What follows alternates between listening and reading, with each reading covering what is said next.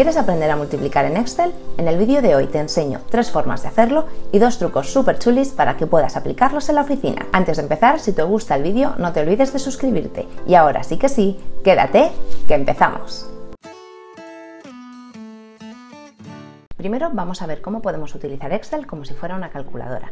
Después aprenderemos a multiplicar columnas y a aplicar la fórmula producto. Estas dos formas son las que debes utilizar y aplicar si quieres automatizar tus cálculos.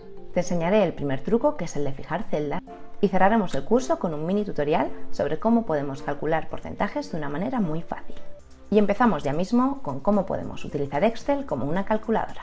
Antes de empezar, os enseño los datos que tenemos en la siguiente tabla. Continuamos con nuestro ejemplo de la zapatería y en este caso lo que queremos saber es el total de las ventas que hemos hecho en base al precio unitario de cada una de las ventas que hemos realizado por el número de unidades que hemos hecho. Aquí vemos que hemos vendido 17 zapatos planos marrones de rebajas por 19,90 euros. Lo que nosotros queremos saber es cuánto, cuál es el total, cuál es el valor que suponen estas 17 ventas, así con cada uno de los productos que tenemos para tener el total de las ventas que hemos realizado durante todo el mes de agosto en este ejemplo. Usar Excel como una calculadora sería muy fácil. Para ello simplemente nos tendríamos que ir a la celda a la que queremos que nos traiga el valor, escribimos igual como siempre para empezar a calcular y escribimos los números que queremos multiplicar. En este caso 19,90 que es el precio por 17 que son las unidades que hemos vendido.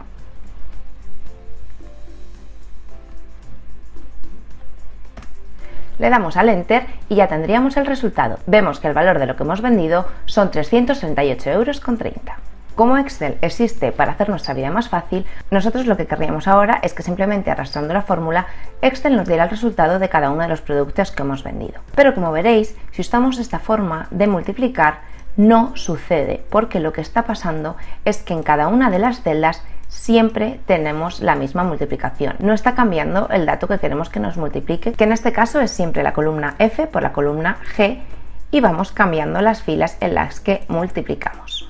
Teniendo en cuenta esto, podemos decir que esta forma de multiplicar solo nos sirve si tenemos que hacer en algún momento dado un cálculo rápido, pero no nos serviría para automatizar cálculos dentro de Excel, que es hacia lo que debemos llegar para que nuestra vida sea más fácil. Aprendemos entonces la segunda forma de multiplicar en Excel, que sería multiplicando celdas. De igual manera que antes hemos empezado escribiéndolo igual, lo volvemos a hacer en la celda en la que queremos que nos haga el cálculo, pero en vez de escribir el número lo que vamos a hacer es seleccionar la celda.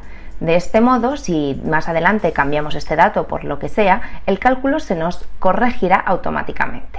Elegimos la celda que queremos, que es la F4, la multiplicamos por la G4, que es el número de unidades que hemos vendido, le damos a Enter y ya tendríamos el cálculo, que como veis son 338,30 igual que nos había pasado antes este caso lo que tenemos que hacer es arrastrar la fórmula y sí nos va a calcular cada una de las filas por cada uno de los productos el total de lo que hemos vendido. Como veis, hemos vendido un total de 2.663 euros con 20 céntimos durante el mes de agosto en este ejemplo.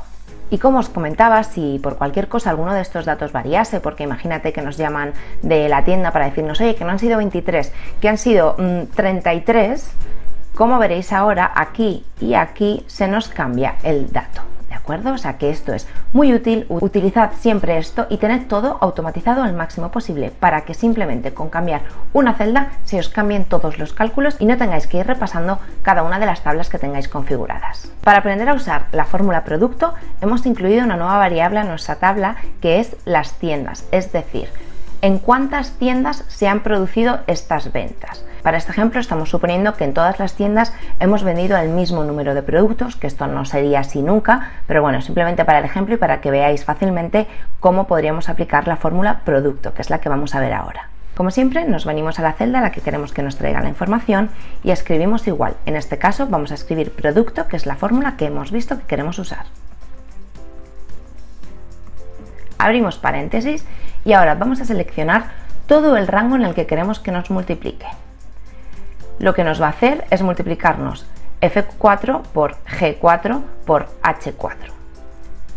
Cerramos paréntesis y aquí tendríamos el cálculo realizado. Este cálculo lo que nos está diciendo es que en tres de nuestras tiendas se han vendido 17 unidades de zapatos planos marrones de rebajas por un precio de 19,90 euros. Y al igual que en el caso anterior, simplemente tendríamos que arrastrarlo para que se nos aplique en toda nuestra tabla. Y ahora vamos a aprender el primer truco que sería fijar una celda. ¿Qué significa esto? En este caso estamos viendo que lo que estamos haciendo es multiplicar una celda por otra celda y vamos arrastrando, por lo tanto la fórmula se va viniendo hacia abajo con nosotros. Imaginaos que tuvierais que darle la paga a vuestros hijos. En vuestro caso tendríais tres hijos y en enero decidís que le vais a dar 10 euros a cada uno. Ahí tendríais una constante que es que siempre tenéis tres hijos.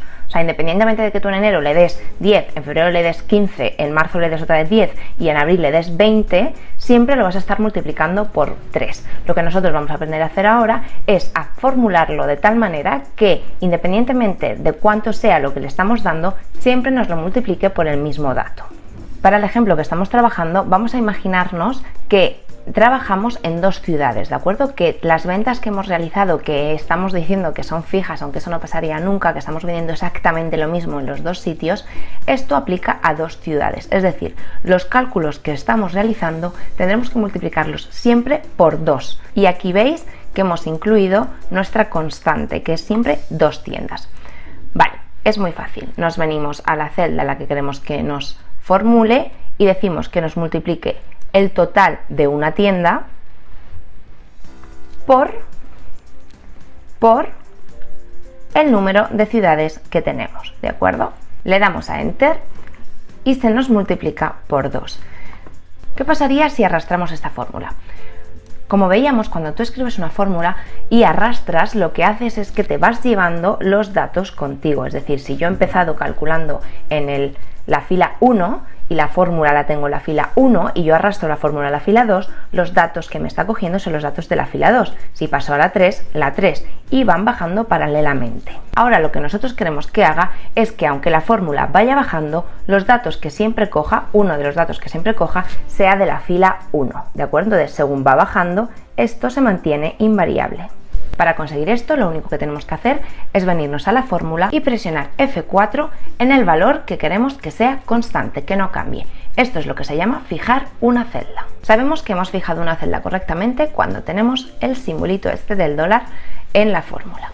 Ahora como veis, si yo arrastro, en todos los casos lo que está haciendo es siempre multiplicarme por esta celda de aquí, que era la que yo había fijado. Si mañana abro otras cuatro tiendas en cualquier otra ciudad y yo quisiera seguir haciendo los cálculos, lo único que tendría que hacer sería venirme aquí y cambiar este dato. Y veis que se me cambiaría automáticamente y no tendría que volver a formularlo todo. Y ahora el último truco, como os comentaba, lo que quiero hacer es enseñaros a calcular porcentajes de manera muy pero que muy fácil usando la multiplicación. Veis que hemos añadido en nuestra tabla otros dos factores, que uno de ellos es el IVA y el otro de ellos es un descuento. Lo que vamos a hacer ahora es, vamos a imaginarnos que este precio que teníamos aquí era sin IVA y de cara a poder venderlo lo que tenemos que hacer es añadirles el IVA para poder así eh, preparar las etiquetas de los productos. El IVA y porcentajes en general hay mil formas de calcularlos, ¿vale? Pero yo hoy os voy a dar una muy muy fácil y muy sencilla que seguro que os vais a acordar siempre que tengáis que usarlo. Al ser un impuesto, el IVA es un dato que tenemos que sumar a nuestro dato actual.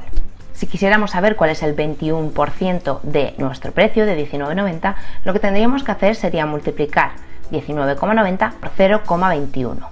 Pero en nuestro caso lo que queremos saber es en cuánto se nos queda el precio de nuestro producto una vez que le añadimos el IVA.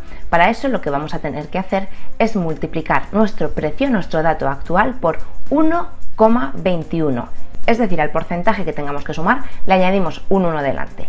En este caso es 21, por lo que es 1,21. Si fuera un 15%, sería 1,15. Si en otro país el IVA es del 24%, pues por 1,24. Y esto lo que nos va a hacer es ya darnos el total de nuestro precio con IVA. Vamos a ver cómo lo haríamos en Excel y cómo lo podríamos dejar formulado. Para hacer el cálculo, como siempre, nos vamos a ir a nuestra celda. Pero antes de eso, quiero explicaros que lo que estamos haciendo en este tutorial es automatizarlo de tal manera que si el día de mañana el IVA pasa de ser del 21% al 16%, al 10 o al 35%, no tengamos que hacer nada más allá de actualizar el dato de IVA que tenemos aquí puesto. Entonces, lo que vamos a hacer es que Vamos a empezar a formularlo y vamos a decir que nos coja el total de las ventas que hubiéramos hecho si no hubiera este impuesto y lo vamos a multiplicar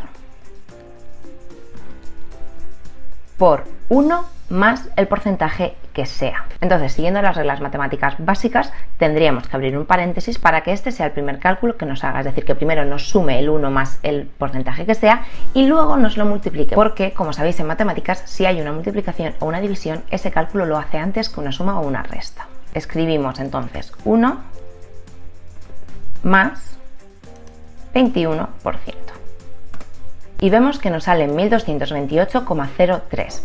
Vamos a hacer ahora la prueba para ver si esto hubiera sido el mismo resultado en caso de que lo hubiéramos multiplicado directamente por 1,21, que es el truquito que podéis usar siempre que necesitéis calcular un porcentaje si tenéis una calculadora a mano.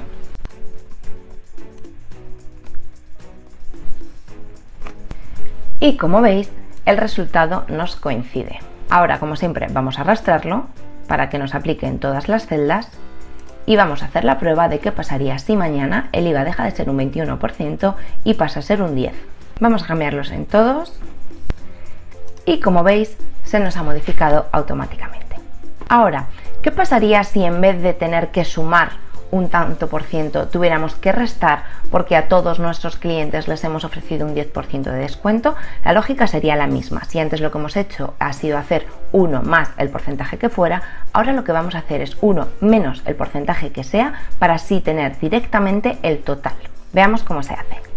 Nos venimos a la celda, abrimos el paréntesis y le decimos que nos coja nuestro total y nos lo multiplique por, abrimos paréntesis, 1 menos 10. Cerramos paréntesis y aquí tendríamos el precio descontado. ¿Por qué hacemos el 1 más el porcentaje? Porque al ser un porcentaje, ese 21%, si lo pasamos a números absolutos, sería 0,21. Por lo tanto, lo que estamos haciendo es restar 1 menos 0,21. O lo que es lo mismo, si hablamos en porcentajes que son cienes, 100 menos 21. Y con esto hemos aprendido tres formas de multiplicar en Excel y además dos trucos como son el fijar celda para poder multiplicar siempre por el mismo valor y además hemos visto un mini tutorial dentro de este tutorial sobre cómo podemos calcular porcentajes de una manera muy fácil. Y esto ha sido todo por hoy. Espero que te haya resultado de utilidad el vídeo, que hayas aprendido muchas cosas y te recuerdo como siempre que cuando se trata de Excel la única forma de realmente aprenderlo es practicando. Por lo que abre tu Excel, prepárate una tabla de datos sencilla y empieza a practicar hoy mismo. Si te ha gustado el tutorial no te olvides de darle un like, compartirlo con tus amigos o compañeros a los que les pueda resultar útil y además suscríbete al canal para seguir aprendiendo trucos de Excel y otras herramientas que puedas aplicar en tu día a día en la oficina. Muchas gracias por haber estado aquí hoy y nos vemos en el próximo vídeo. ¡Hasta luego!